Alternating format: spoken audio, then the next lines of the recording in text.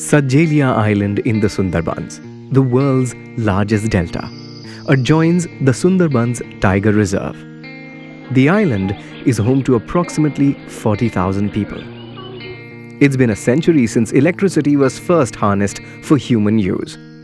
Yet, this island hasn't seen power lines till now. The decision of the government to not take uh, grid electricity to Sajeli Island is uh, not because the government does not want people to live on Sajeli Island, but for the simple reason that uh, the grid would have to cross a number of rivers.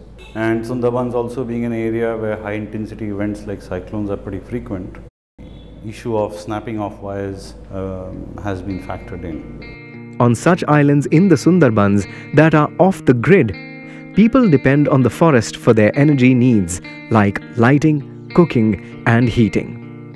আলোর জন্য করছি ছেলে মেয়ে পড়ার জন্য করছি ওটা মানে আলোর জন্য কি আপনার কি বাতি আছে মানে কি ব্যবহার করেন কেরোসিন কেরোসিন এখন কেরোসিন করছি আমরা আগে দিয়ে গিয়েছিলাম ধর্মতলায় মানে কলকাতা চলে গেছে হ্যাঁ The dependence of local communities on firewood for cooking and lighting also means venturing into the forest, where villagers would come in contact with wildlife like tigers, putting both humans and animals at risk.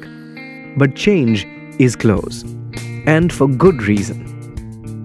যে এখানে বিদ্যুৎ যাচ্ছে আমাদের মানে পড়াশোনার সুবিধা হবে এবং আমাদের সুন্দরবনের যে বাঘ বাঘ পেড়া চলতে ভয় অনেকটা কমে যাবে WWF India is working extensively with rural communities in the Sundarbans to provide them with renewable energy solutions that are easily available, cost effective, while reducing carbon emissions and pressures on the forests around these areas. Sahasra Jyoti, or Beacon for the Sundarbans, is a project aimed at bringing sustainable development to the Sundarbans landscape in India by enabling energy access to 1,000 households in the region, all through solar energy. With your support, we can set up individual micro solar power stations for 1,000 households in the Sajelia Island. Help switch on the Sundarbans with solar. Make your contribution today.